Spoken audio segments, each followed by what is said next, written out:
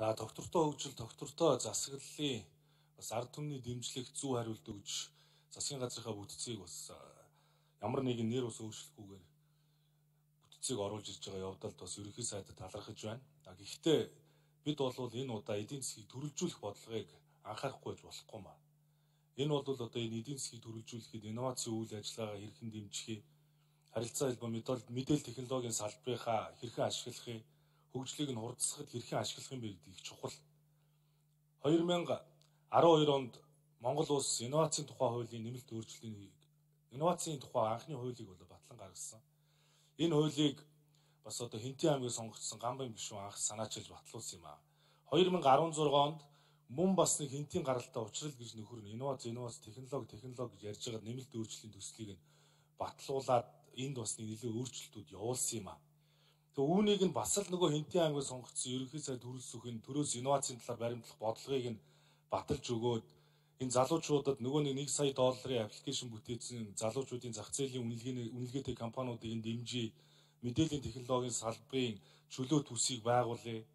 Энэ инновацийн үйл ажиллагааг бүх салбар дээр нэвтрүүлж дижитал эдийн засгийг хөгжүүлэх гэдэг бодлогыг ерөнхий сайд өөрөө дэмжиж энэ засгийн ардын намын мөрөө хөтөлбөрт сууж өгсөн.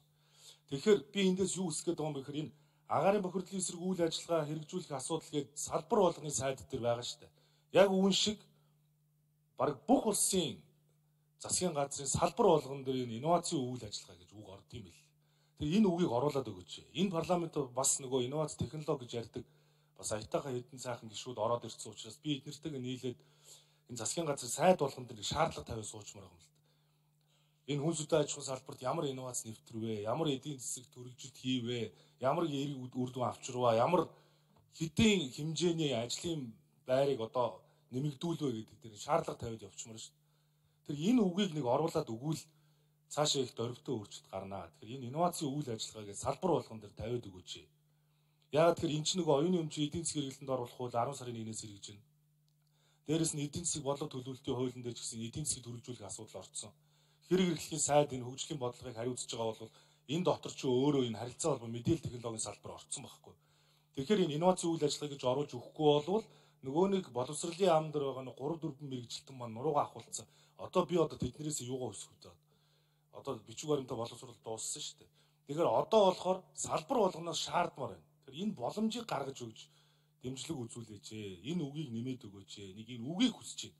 Тэгвэл дараагийн жил бол салбар болгоны сайдуудаас шахна шаардна. Үүнийг дэмжих олон гишүүд өнөөдөр энэ парламент ороод ирсэнд баяртай.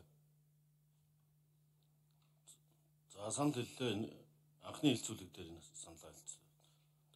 За одоо одонгийн зөвтгөл